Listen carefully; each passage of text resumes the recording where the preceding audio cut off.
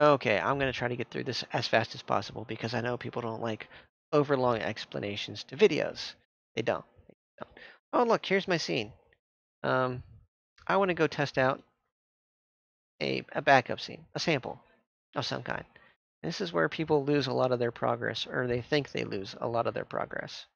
Open it up. Oh my god, yeah, let's check out the awesome mirror that exists here. Oh, okay, let's go back to my scene. Go back to my scene, open it up. Holy crap, all my stuff is gone. What do you do? Don't panic, that's what you do. Shut down Unity. Trust me, this is the best way to do it that I've found.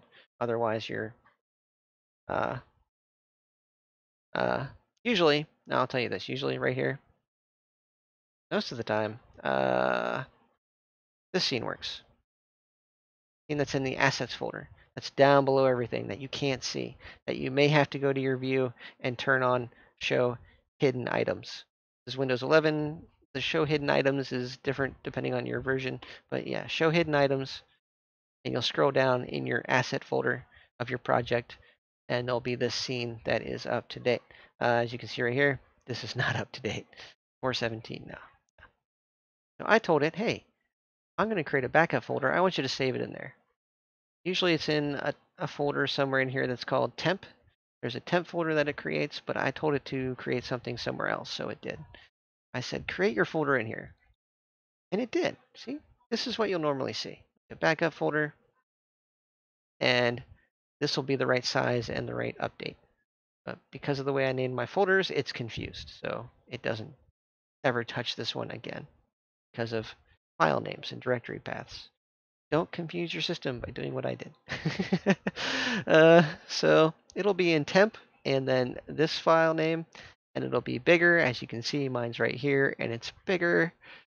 Just ignore that. But if I open this up, look at file sizes. They're very important, guys. They're very important. Don't freak out. Your project's not gone. It's not. It's really not. It's here. It's fine. It's exactly how you left it. Unity's a bit weird. That's all I can say. It's it's unusual. Not something that uh, they normally announce to people. And as you can see, got everything. Oh my god, this is amazing. Everything's back. Everything's like it was. Your files are not gone. Congratulations. I hope this has helped a lot of people. This works for anything avatars, worlds, whatever you're creating. Their system is weird, it's strange, it's unusual, unusual unless you understand file directory paths and uh, a lot of other uh, temporary file lo location storage stuff. You're probably going to be lost and scared, and I get that. It, it's very frustrating. It's very anger inducing. Don't panic. Your stuff's still there. All right. See you guys later. Have a good one.